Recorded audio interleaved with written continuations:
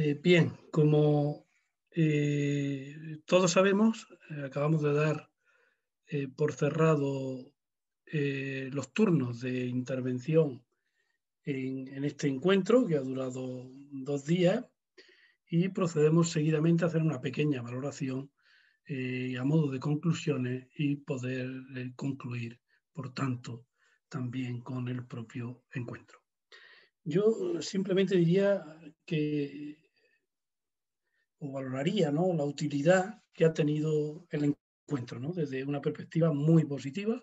Hemos tenido oportunidad eh, de observar que están pasando muchas cosas relacionadas con el arte rupestre en nuestro país, que este ingente patrimonio sobre eh, el que el colectivo profesional de la investigación eh, no deja de hacer aportaciones sigue enriqueciéndose sigue aportando conocimiento, sigue creciendo y, eh, por tanto, eh, de, una perspectiva más global, decir que se han hecho y se están haciendo muchas cosas, pero que es necesario dar un paso más, un paso más cualitativo, sobre todo por parte de las administraciones.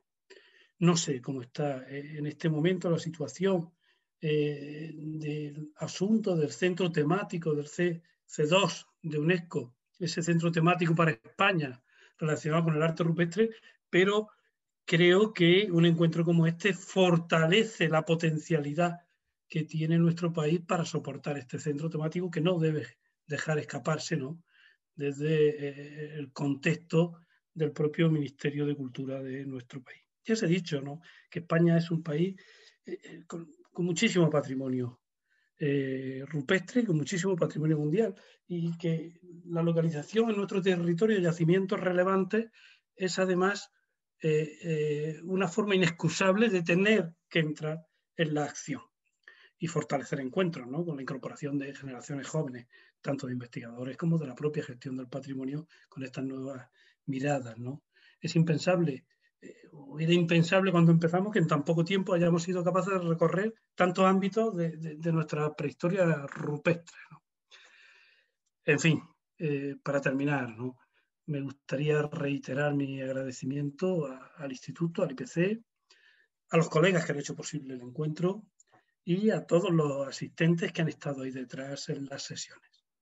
Espero y deseo, como todos, que pronto nos volvamos a ver y que en esa próxima ocasión sea presencial. Muchísimas gracias y hasta pronto. Perdonad, que no había encendido el micrófono. Bueno, reiterar los agradecimientos de Julián. Eh, estamos muy satisfechos con el resultado de este encuentro.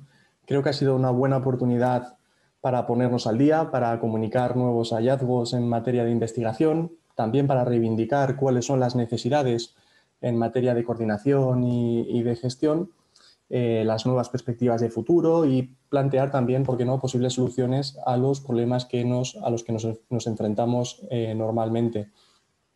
Eh, desde la Subdirección General del Instituto del Patrimonio Cultural de España, estamos convencidos de la necesidad de seguir organizando este tipo de encuentros, estos, estos espacios, eh, con la intención de que este primer encuentro pues, sea el primero de, muchos más. Y ojalá la situación sanitaria actual mejore y nos permita organizar un encuentro presencial eh, a corto plazo o en lo sucesivo. También les adelanto que, que, la Subdirección General del ICE pues, ya está trabajando en la publicación de un volumen que recogerá los artículos de este primer encuentro nacional de arte rupestre y que sin duda, estoy convencido, será un trabajo de referencia fundamental para, eh, para especialistas, para profesionales y también para los interesados en nuestro arte rupestre.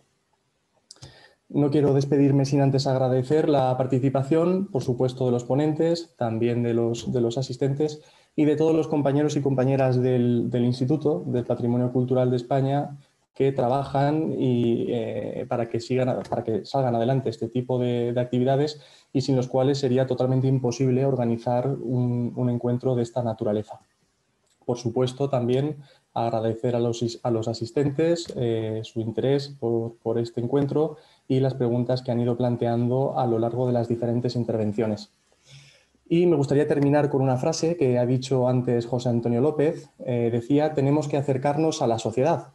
Y estoy totalmente de acuerdo. Eh, estoy totalmente de acuerdo porque solo aquello que se conoce y se valora eh, es, en definitiva, lo que se respeta, se protege y se conserva. Y ojalá actividades como esta puedan contribuir al conocimiento y al respeto de nuestro arte rupestre. Nada más. Nos vemos en el segundo Encuentro Nacional de Arte Rupestre. Muchas gracias.